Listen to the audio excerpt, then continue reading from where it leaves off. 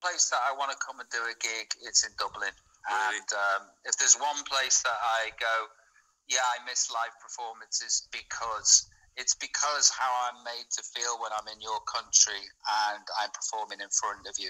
Uh, so can't wait to do that. Next project that I'm doing won't be a Robbie Williams album. It will be I'm I'm kind of joining a band. I am joining a band, Whoa. and uh, we'll be doing uh, an electronic dance music project. Right. Less disco, more deep house. Right. Um, yeah. Has the band got a name, or can you tell us any more about Yes, it? it does, but I don't want to put the cart before the horse yet. Right. Okay. The name might change. It's funny the way the world has changed, actually, isn't it? Because I remember that when I was growing up as well. That you know, you'd wake up, say during your summer holidays or whatever, you'd wake up and uh, nine o'clock, have a bit of breakfast, some cornflakes or whatever, and then you'd head off, and you probably wouldn't be seen again until it started getting dark. I don't. I don't believe that it's less safe a world now than it was in the seventies or the eighties. Mm. Um, I just think that we have been instilled with a lot of fear, and I think that I'm not one to be above that fear. My kids are not going out. Right. Okay. That's it.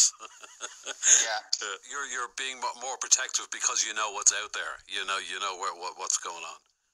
Yeah, Yeah. yeah, I, I yeah, I, all the reasons that my grandma, who I loved so much, was so fearful of me leaving the property, re- leaving the terraced house, Yeah. Uh, and I'd be just like, what is she going on about? You know, I, I've now become my grandma.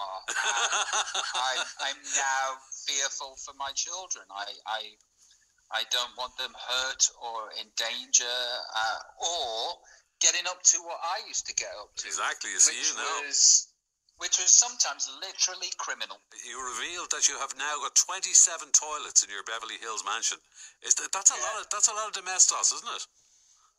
Yeah, I, I actually wanted to like have a party where I get like 27 people around and we all use the toilet ex- exactly the same time and see what happens. Yeah, exactly. See if the system is it stands up to us. Yeah.